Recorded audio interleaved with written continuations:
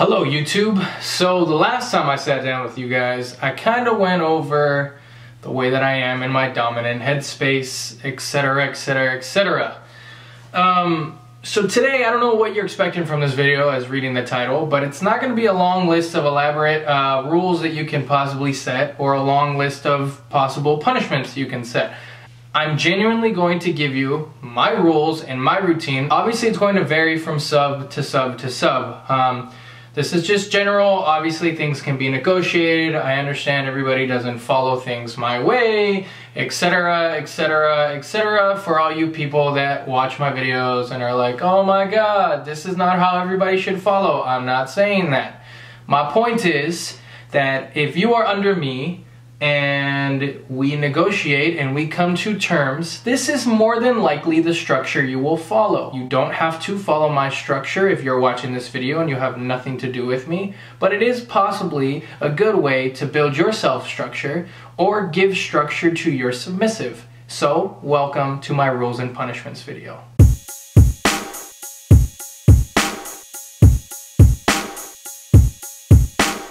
Now to start, basically everything that I do is based on a routine. So you wake up at a certain time, you eat your first meal at a certain time, you do whatever you gotta do at a certain time, and so on and so forth, right? You go to bed, you have a bedtime. Um, everything is based on either times or certain parts about the day. Now, what I really prefer is one, you wake up no later than 8 a.m. Now, reason why I say that is because there's really no good sense in sleeping in all day unless your job involves something that you do at night. Now, if you have a day-to-day job or daily activities, I suggest that waking up any later than 8 o'clock just doesn't make sense. After you wake up at 8 o'clock, if you're not next to me to make me coffee, realistically what you're going to do is you're going to make sure I get a good morning call or a good morning text message. I should be the first thing you think about in the morning. Now, as far as the meals go, um, I make sure that my girls eat at least three meals a day because you need proper nutrition and you got to take care of yourself. If you don't take care of yourself, you do not represent me well. If you do not represent me well, then might be into some shit. So, first meal I usually cut off at about 10:30 a.m. Reason being is because I don't want you to wait until noon, one o'clock to have your first meal and be like, "Woohoo, daddy! I had my first meal at 1 p.m." Now, keep in mind, I like majority of control. And when I say control, if you watch my previous dominant video, I like control. I want to control every aspect of your entire life. So if you want to leave the house, you ask me. If you want to go to the store, you ask me. Now, it's not as crucial as like if you want to go to the bathroom, you ask me, but you get the picture, right? If you want to get up from the dinner table that you're sitting with me or anything remotely close to it, you ask. Now, the asking factor isn't more so I want to make sure that I control your life, but the asking factor is because I want to make sure you respect me in every way. You make sure that every little thought going through your head is filtered through mine as well. And that in itself is the biggest respect part of it. Now, alongside from you asking me about everything that you want to do, uh, I'll make sure that you at least exercise for three times a week. Reason being is, like I said, you gotta look good for me. You represent me. Got it? Alongside with exercise, you take care of yourself as much as possible. Correct hygiene, you dress correctly, you ensure that you present yourself well to the world. Now that doesn't only represent me in a positive way, but it represents you in a positive way. So now you're set up for more success in life because hygiene is excellent. If you ever come across somebody with terrible hygiene, doesn't really go too well for them, does it? Another big thing on my list is that I ensure that you learn weekly as much as possible. It doesn't always have to pertain to BDSM, but I want to ensure that you learn and you're consistently allowing your mind to grow.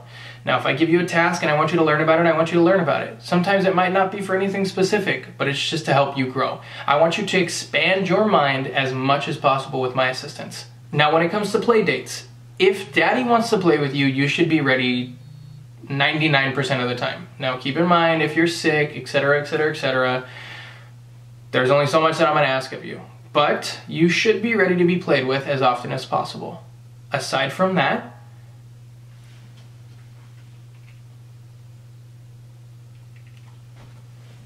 Aside from that, if you want to play with daddy and it's not something that daddy is asking for, then you should bring me a gift. Now, it doesn't have to be you go to the store, you buy something, write me a cute letter, draw me a cute picture, whatever the case may be. If it is coming from you, it's a gift. Make sure that you're open and honest with me at all times. Even though I might not like the answer, ensure you're respectful, but be honest. You will not engage in conversation with other Doms unless my permission is granted. You will call me daddy as often as possible. I genuinely don't give a shit who are around. You'll make sure that you arrive to school, work, or whatever you're doing on time always. You will make sure that you are ready to provide a detailed description of how your day was regarding school or work or anything else whenever I want it. You will ask me before eating any kind of sweet or candy or anything in that category. You will use your safe word whenever you think is needed. Now, doesn't matter the situation, if you genuinely need to use your safe word, do not be afraid. You will be open and ready to use it. You kind of get the picture.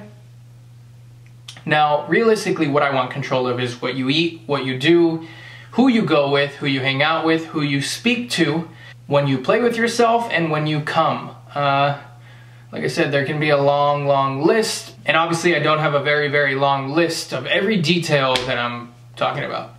Now to the fun part, punishment. A lot of you guys think punishment is the whole gist of this BDSM world or this thing in general. Um, punishment is genuinely made to correct something. So for those of you that are like, oh, I'm gonna find any way to punish you, or I'm so excited to punish and punish, punish, punish, punish, punish me, daddy. That is not what that is. I genuinely don't think you would enjoy being punished if you really felt an honest and true punishment. Look, punishment the infliction or imposition of a penalty as retribution for an offense. But yet all of you guys are like, Daddy, punish me, or I cannot wait to punish you, little girl, or blah, blah, blah, blah, blah. Let's go over a list of my punishments. Punishments don't always have to be physical. Keep that in mind for all of you fantastic internet submissives and dominants. If you curse, your mouth will be washed out with soap. I don't like a little girl with a foul mouth. If you wake up late, if you arrive late to your job, if you go to bed late, if there's anything that you are late to, you will make sure that every single time you do it, you write me 50 lines of why being punctual is the correct way to be.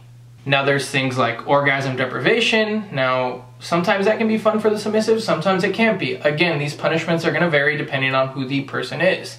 Um, you have things like privilege deprivation. So sometimes you're not gonna be able to watch cartoons or have fun or be on your phone as much as you want. Literally privilege deprivation. So those things can be and will be taken away from you.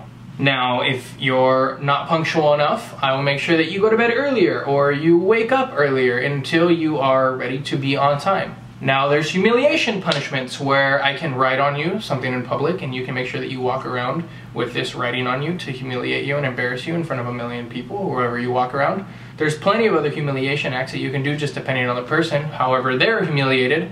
Keep in mind I got a video for that too, so now we can get to the physical punishment, where it's an actual physical punishment.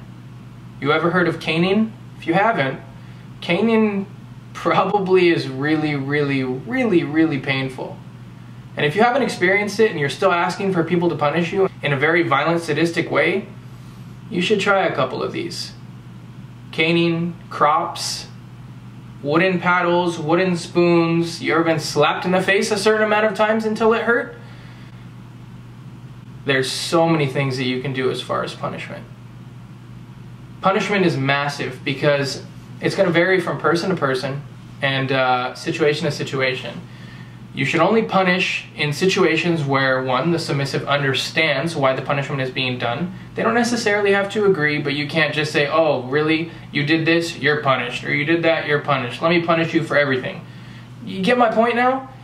There's just a gist of rules and punishments that I use and that I go by, routine, making sure that you're taken care of for me, making sure that you're readily available for me at all times, making sure that you report to me, punishments, like I said, as far as ensuring that you don't curse, making sure that punishment, when it is impact play, is really heavy and you do feel it for quite a while. Um, and the biggest rule that I have is when everything's all said and done, when daddy finishes for you or plays with you, you thank him right after. So once everything is done, the words out of your mouth are, thank you, daddy. I don't give a fuck. Bitch, you know that I'm the plug for you. Hit me, better get your money up, cause I don't give a fuck. Got a burner with the snuff, and the froggy little bitch, you better jump, cause I don't give a fuck. I know you see me in the club, hella drunk with the team, we run amok, cause I don't give a fuck.